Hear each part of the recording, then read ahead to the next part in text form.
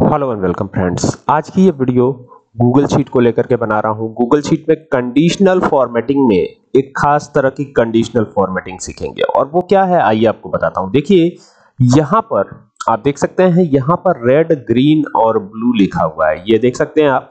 अब यहाँ पर जैसे ही मैं ग्रीन चूज़ करता हूँ तो यहाँ पे ग्रीन हो जाता है ये। बैकग्राउंड ग्रीन हो जाता है। अगर रेड चूज़ करता हूँ तो बैकग्राउंड रेड हो जाता है। और अगर ब्लू चूज़ करता हूँ तो बैकग्राउंड ब्लू हो जाता है। अब ये हुआ कैसे? आप इस सेलेक्टेड रेंज में कहीं भी चले जाइए पूरा रेंज ये जो है, यहाँ पर आप जब भी जाइएगा तो ग्रीन चूज़ कीजिएगा तो ग्रीन हो जाएगा रेड चूज़ कीजिएगा तो रेड रेड हो जाएगा अगर ब्लू चूज़ करते हैं तो ब्लू हो जा रहा है।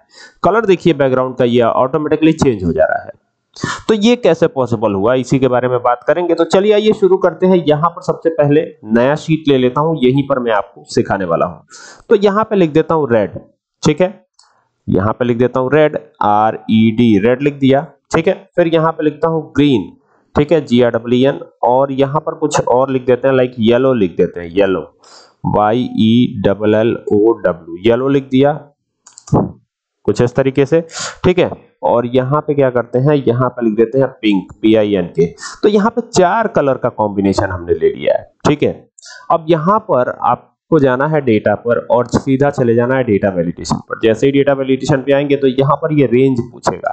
तो रेंज हमारी पूरी मैं यहाँ पर बी वाली जो कॉलम है, पूरा मैं रेंज इसका ले लेता हूँ, ठीक है? अब यहाँ पर बात आती है एंटर रेंज और फॉर्मूला तो यहाँ पर क्या करना है? तो यहाँ पर अब हमें वो लेना है जो कि हमें यहाँ पर सेलेक्ट करना है। जैसे कि ये जो दिया गया है, इसको हमें यहाँ से उठाना है। तो यहाँ पे ए लिखता हूँ। ठीक है ए वन से लेकर, और फिर कोलन लगाएँगे। कहाँ तक? A4 तक है ना? देखिए, ये ए वन है, ये A2 है A3 है और ये A4 है। तो A4 तक जाएँगे हम। तो ये A4 हो गया और इसको यहाँ से कर दीजिए ओके। ओके कर दिया। अब हमें क्या करना है? अब हमें इसको सेव कर देना है। तो ये सेव कर देते हैं इसको। ये तो काम हो गया हमारा। तो जैसे ही सेव करेंगे तो यहाँ पर देखेंगे तो रेड ग्रीन येलो पिंक ये सब आ रहा है। आ रहा है ना? अब कर्सर को यहीं रख दीजिए और आ जाइए फॉर्मेट पर। फॉर्मेट पे जैसे ही आते हैं तो यहाँ पर मिलता है कंडीशनल फॉर्मेटिंग यही हमें सीखना है। तो यहाँ पर आ गए। यहाँ पर सिंगल कलर ही सिलेक्टेड रहेगा और यहाँ पर रेंज दिया गया है बी तो हम इसको चेंज कर देते हैं। यहाँ पे हम पूरा सेल पूरा सॉरी पूरा कॉलम ले लेंगे। तो यहाँ पे बी कॉलम बी कर देंगे। तो इसका मतलब हो जाएगा कि हम पूरे कॉलम बी की बात कर रहे हैं। ठीक है? और यहाँ से क्या करेंगे? यहाँ पर हम इज़ इक्वल टू कर देंगे इज़ इक्वल टू कंडीशन क्या देंगे? इज़ इक्वल टू तो ये इज़ इक्वल टू दे दिया। और यहाँ पर वैल्यू और फॉर्मूला ये क्या देंगे? यहाँ पर क्या होगा? तो पहला है रेड तो यहाँ पर दे देते हैं आर ई डी रेड अब यहाँ पर ध्यान देना है, यहाँ पर रेड कलर सेलेक्ट करना है। तो ये रेड कलर हमने सेलेक्ट किया। ठीक है? ये सेलेक्ट कर लिया। आप चाहे तो यहाँ से इसको भी चूज़ कर सकते हैं। ये इसको मैं व्हाइट कर देता हूँ। ठीक है? तो ये हमने चूज़ कर लिया। और यहाँ से डन कर देते हैं इसको डन तो ये डन हो गया। अब यहाँ पे दूसरा रूल लगाएँगे, ठीक है? यहाँ पे फिर वापस से आएँगे और यहाँ बी कॉलन बी कर देंगे। बी कॉलन बी ठीक है? ध्यान रखना है बी कॉलन बी लिखना है आपको। बी हो गया कॉलन हो गया, फिर बी कर देंगे। तो इस तरीके से कर देना। फिर यहाँ पर इज़ इक्वल टू फॉर्मूला लगाते वक्त इज़ इक्वल टू लगाना मत भूलिएगा। तो ये इज़ इक्वल टू दे दीजिएगा। तो इज़ इक्वल टू हो गया, अब फिर वापस आते हैं। तो अभी हमें करना है ग्रीन ठीक है? तो ग्रीन के लिए क्या करेंगे? यहाँ से ग्रीन कलर चूज़ करेंगे। तो ये ग्रीन कलर चूज़ किया। और यहाँ पे दे देंगे green G R double E N ये ग्रीन दे दिया, क्योंकि यहाँ पे ग्रीन ही तो लिखा है हमने। ठीक है? और यहाँ से डन कर दीजिए। तो ये दो रूल हमने लगा दिए। तीसरे रूल की बात करते हैं। यहाँ पर आते हैं और यहाँ पे कॉलन लगा करके बी कर देते हैं। और फिर आते हैं, यहाँ पे इज़ इक्वल टू लगाएँगे। इज़ इक्वल टू ठीक है? तो इज़ इक्वल टू दे दिया। और यहाँ पे वैल्यू की बात करेंगे। तो वैल्यू येलो है। तो यहाँ पे लिख दीजिएगा Y E double L O W अब यहाँ से येलो कलर हमें चूज़ करना है। तो यहाँ से चलते हैं, ये येलो कलर चूज़ कर लेते हैं। बस काम हो जाएगा येलो कलर चूज़ कर लेने से।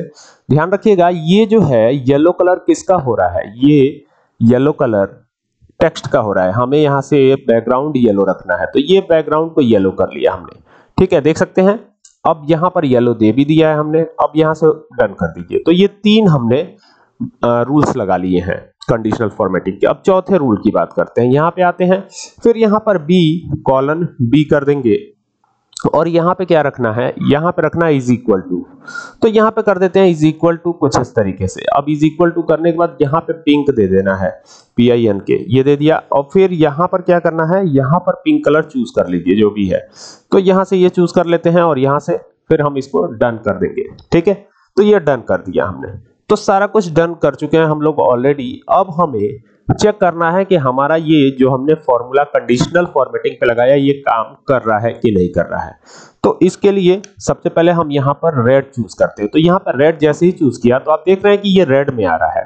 फिर यहाँ पर आते हैं ग्रीन चूज़ करते हैं तो ग्रीन जैसे ही चूज़ किया तो देख रहे हैं यहाँ पे ग्रीन कलर ऑटोमेटिकली आ रहा है। फिर यहाँ पर आते हैं, यहाँ पे येलो चूज़ करते हैं तो येलो कलर ऑटोमेटिकली आ रहा है। फिर अगर यहाँ पे आते हैं पिंक कलर चूज़ करते हैं तो पिंक कलर ऑटोमेटिकली यहाँ आ रहा है। अब ऐसा नहीं है कि ये केवल इन्हीं चारों सेल्स में आएगा। जहाँ भी चूज़ करेंगे, वहाँ पर ही आता चला जाएगा। जैसे यहाँ पे पिंक चूज़ कर लिया या येलो चूज़ कर लिया तो देखिए यहाँ पे येलो आ गया। ठीक है? यहाँ पे रेड चूज़ कर लिया तो यहाँ पे रेड आ जाएगा। तो जहाँ पे जो कलर चूज़ करेंगे, उसी के मुताबिक बैकग्राउंड भी अपने आप चेंज होता चला जाएगा। तो कुछ इस तरीके से आप कंडीशनल फॉर्मेटिंग लगा सकते हैं, इसके रूल्स को लगा सकते हैं। उम्मीद करता हूँ बात समझ में आई होगी। वीडियो अच्छी लगे तो शेयर करें। Thank you for watching this video